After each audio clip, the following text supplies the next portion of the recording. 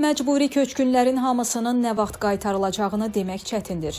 Lakin onlar mərhələlərlə geri qaytarılacaq.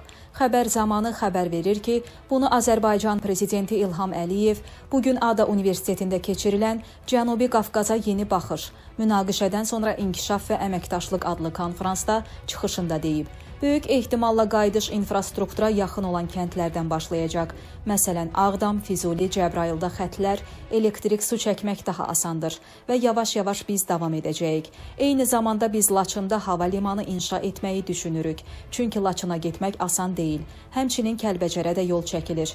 Mövcud yollar hazırda Rusiya sülhməramlılarının nəzarətindədir. Biz bu yollardan istifadə edirik. Lakin bəzən nə vaxt və necə bəlli olmur. Bizim çoxlu tunellər tikməyə ehtiyacımız var. Beləliklə dəqiq vaxt demək mənə çətindir, amma bu iş mərhələlərlə aparılacaq. Ümid edirəm gələn ildən başlayaraq ilk məcburi köçkünlər artıq öz torpaqlarına qaytarılacaq.